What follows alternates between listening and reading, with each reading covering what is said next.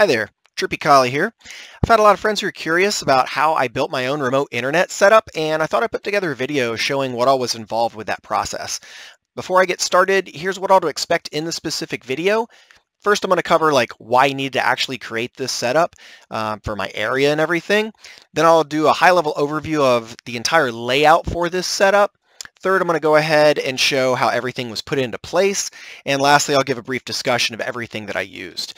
So if you're interested, take a look in the video description below for detailed product information and links for all the items that I'll be discussing. Uh, keep in mind that links may have changed since the creation of this video, but you can always do a search based on the product information I provided below. Lastly, there's timestamps, so you can jump around in the video to any parts that you're specifically interested in. With that being said, let's get right into it. So why did I need this setup? I live in a very rural area. Uh, it's quite remote compared to most people. Specifically, I live in a mountain valley filled with redwoods. It's like 15 minutes away from the nearest city. You can't get cell signal where I live. Uh, cable internet isn't available, and DSL is only sort of available. Before I created the internet setup shown in this video, the only option we had was DSL service provided by AT&T. Uh, I hesitate to call it service since our DSL crashed multiple times every day, and when it did work, the speeds were barely usable uh, compared to modern standards. As an example, if my husband was watching something on Netflix and I was surfing online at the same time, then we would both have a slow, choppy experience, and that's assuming DSL was able to maintain the connection. All that DSL setup had perfectly functional equipment, uh, the issues with the service were related to distance factors and AT&T not wishing to upgrade our equipment or increase support to the low population area that I live in. We suffered with that as our only internet option for over 20 years. So how did I figure out how to do our current setup?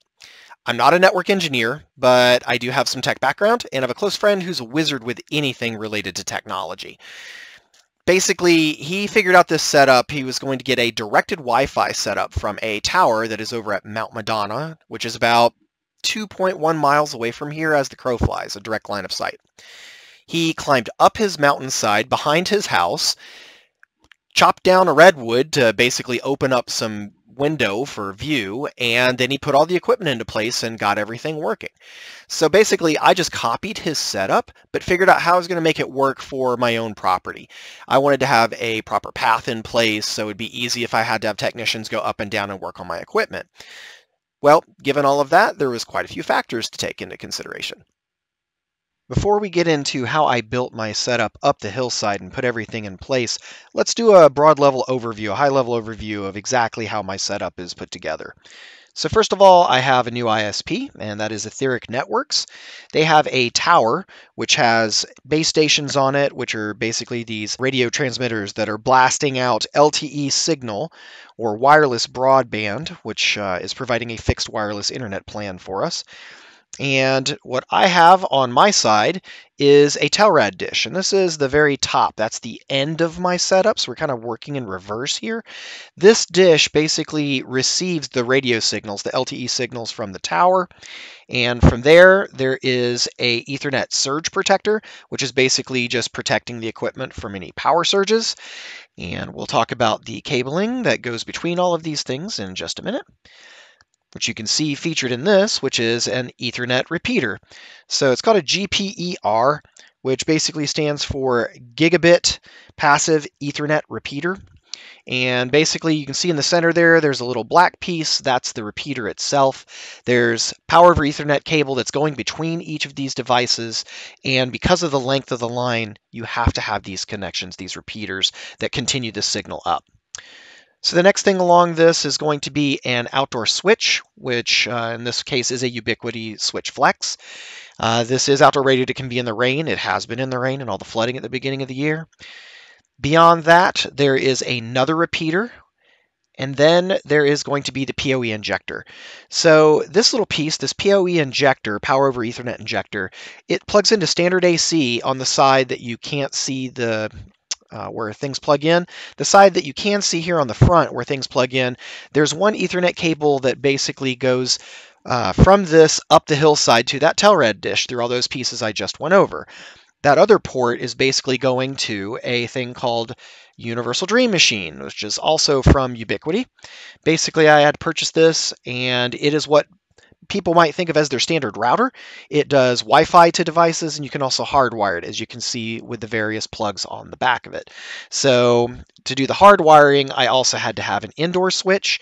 This one is not power over Ethernet, but it does provide all the various plugins to go ahead and connect to my various equipment, such as my desktop computer for like work, personal use, as well as a security system, which I have here in the house. Uh, the UDM, the Universal Dream Machine, also provides Wi-Fi, so I can have all my standard devices connected. So you can see here like cell phone, iPad, Roku, Chromecast, things of that nature. That gives kind of a broad level overview of how everything is connected together. Let's get into how I actually had to build the infrastructure for this here on my property. The first part to building the network basically involved figuring out the path all the way to the top of the mountainside where I was going to be placing the Telrad dish for my setup. So first I went up the hillside and you can see here in the sped up footage that I'm chopping branches out of the way so I basically have a clear path to go up and down through everything. And I'd also laid out some survey twine through everything to get a rough idea of exactly where the cabling was going to be going in as straight a line as I could basically get it. And with that, once the line was spread the entire distance, when I was finished, I had to go ahead and recollect that entire line. You can see me really quickly, I sped the footage way up here, wrapping all the twine back up. And that's because I had to measure the amount of twine so I would know roughly how much cable I would need to reach from the back of my house all the way up the mountainside to where the Telrad receiver was going to be placed. The next portion that had to be performed was actually moving the pavers from across my bridge all the way over to an area to load them, which is right here. And then you can see I have to put them in a backpack to carry up the mountainside up the entire path and just keep moving them from my car across our bridge, up the hillside, up this long mountain path, until I have an area where I can actually put the steps in place. I started with the upper area first, just so I could go ahead and do the digging up top and slowly work my way back down towards the bottom. Uh, this is sped up over 600%, uh, but you can see there's a lot of work involved here. I'm moving about three of these pavers at a time. They're about 18 and a half pounds each. So that's a lot of weight on my back going up and a almost 45 degree angle. And you can see it's all sped up here, but basically I have to dig out each step with a shovel, then pick up the paver and move it into place. Uh, I wish that it would have been this fast in real life. This was definitely the hardest portion of this project. After that, basically we were looking at moving the networking cable, which I created, not shown here, and actually put it into place along the hillside with those ends that I had terminated, and then I had to test it. Ah, beautiful. Pass, all my numbers match, and I got shielding. First 300 feet is solid. Once that first section was in place, I went ahead and continued the line up the hillside. You can see that I'm climbing all through a bunch of stuff here at very steep angles. You can even see in this shot it's a little bit tilted. It's actually more steep than it shows, about 70 degree angle.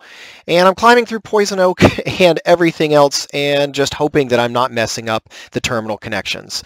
And so here I check the next 300 feet. Oh, thank heavens. 600 feet working. Woohoo!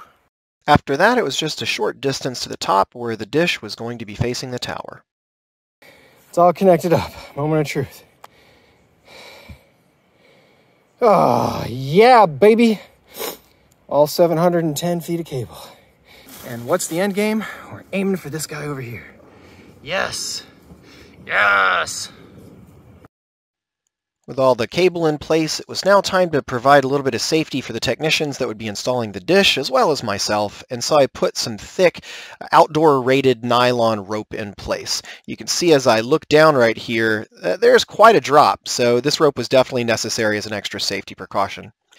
Also, I had to bring poles up to the top so I could go ahead and mount the actual dish as well as the switch. I don't actually have footage of the switch pole, but same sort of concept here. Pound the pole in place and get everything connected. That brings us to the final portion of the process, at least on my side of things, before having Etheric Network get involved, and that's testing all of the equipment. I've already tested the Ethernet cable going the whole way up, power over Ethernet is working and everything, but let's make sure all the components work. So you can see I called in my tech-savvy friend. He's having me go through all of the configuration of the Universal Dream Machine for my setup, as well as testing the switches and making sure that every single component works. Not shown here, we did test the repeaters as well and put them into their outdoor rated enclosures. Now that everything was in place, it was time to have Etheric Networks bring their technicians out, and as you can see in this very quickly sped up climbing the hill footage, uh, it's almost Blair Witch-esque with the jerkiness, apologies for that, Basically, we took them all the way up to the top, and from there we started going ahead and adjusting the dish in its place, which you can see here. And once that was all affixed and set, it was just a quick phone call, which was connected over at the other pole with the switch. And from there, we were doing adjustments to go ahead and have the internet refined. Refinements were pretty straightforward. It's basically just adjusting the dish and us checking with speed tests, as you can see here with my laptop, which was connected into a portable router we had connected on the switch. We basically just moved the dish around. They did a couple adjustments over on Etheric's end, and as you can see, we now had proper functioning internet. You may remember back with AT&T that our buffer bloat rating was D.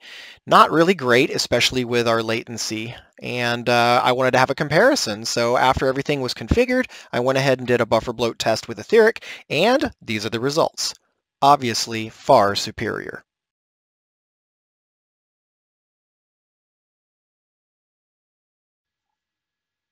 Now that we're done with everything, I'd like to take a little bit of a deep dive into the various components that I mentioned earlier in the overview of my network, just so I can give a thorough explanation and you can understand what all those components were about. If you want to skip this section, you don't want to nerd out, totally fine. The video's done for you. Otherwise, if you want more, keep on watching.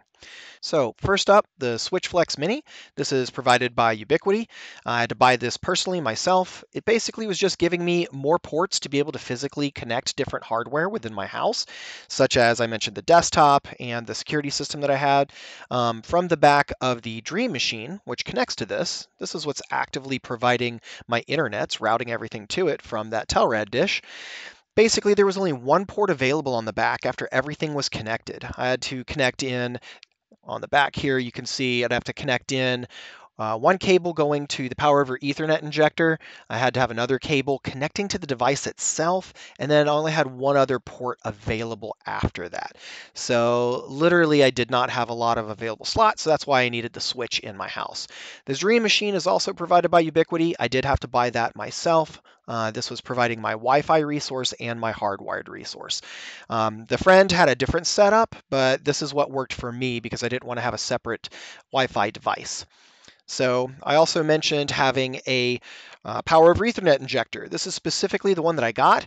Uh, actually, when I went through Etheric Networks, they provided one for me along with their Telrad dish. That was part of my plan to pay with them and have a directed Wi-Fi setup. Basically, with that, I had one already provided for my Telrad dish. I had this one as a backup. This was recommended by the technology savvy friend. Uh, next thing up, cable need to have some actual uh, networking cable because these are long runs of cable for my specific situation. 300 feet uh, requires a repeater on top of that. I had to make my own internet cable, so my network cable. I had to buy all the equipment and the tools to be able to do this. I don't show that in this video. Uh, you can look that resource up elsewhere. But basically, I had a pair of cutters, cable cutters, to go ahead and expose the cable. I then had to have a ratcheting modular data cable crimper, which was able to strip the line. And once I was done actually adding the network cable into the actual plug here, uh, it basically would go ahead and cut the little pieces off and crimp it all together. And then I use this tester, which you saw in the video, which is basically just a cable tester to make sure that the networking is actually working. You could see that I was checking to see if my shielding was showing as shielded, that I didn't disrupt it somehow, moving the cable up the hillside. And I was also checking all the numbers across here to make sure that they were functional for each of the individual wires that are internal.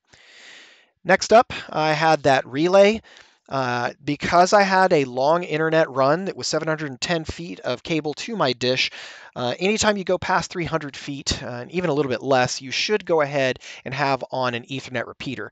This basically takes that power that's provided from the power over Ethernet injector that goes all the way up to my dish, and it extends it further up the cable. I have no idea what kind of black magic it uses to do that, but basically you put this in between two long runs of cable and it will keep extending up to a set amount of distance. I think it's a little bit over 1100 feet if I recall correctly from the friend. Uh, next thing, you may not have seen in the video, but I had a case that goes over this repeater. That was inside this case in the middle. That's because this is outside, so this is basically waterproofing to protect that repeater. And speaking of which, that cable that I mentioned, this guy back here, that is also waterproof. It is outdoor, it is shielded, UV resistant, etc. I basically just have it lying on the ground. I didn't want to cover it up by things because it's easier to replace if it gets damaged with, say, a falling tree on my path. Uh, the next thing up at the top, uh, towards the end of my run, I had a switch, a flex switch. And that was great to test the area and everything. Would you necessarily need this for your specific network setup if you do this type of thing? Maybe not, but for me it gave a good option since we're so far above, we had no cell signal. We could then plug in devices to here to have the internet working and test things right there at the switch. So it was really useful for my specific setup the way that it is. Uh, next thing, I had an Ethernet surge protector. Uh, these are both Ubiquiti products, by the way, the Flex Switch, or the Switch Flex, and the Ethernet surge protector. Uh, the surge protector basically is just protecting the entire line, so none of the damaged, uh, none of the equipment gets damaged with any power surges. And last but not least, the actual Telrad dish. So this was provided again by Etheric Networks, and uh, I paid a certain amount for this, but you know, am I going to have to use it somewhere else? Probably not, specifically with them. And that's because I'm using a fixed wireless setup to receive that LTE radio signal. Uh, I also have a page here that I have pulled up. I'm going to go ahead and link it in the information down below. If you're curious to know about what is fixed wireless internet and what are the benefits, pros and cons, how does it work, all of that's here. Hopefully this video gave you a good introduction to it all. Um, but yeah, it's the great solution for me. Costs a little bit more than I was paying for AT&T, except it actually is highly functional and is always on. Uh, barring some sort of crazy issue with like say hail destroying a dish which actually happened recently a couple weeks ago so anyhow that's the whole video i hope you found this useful and thanks for watching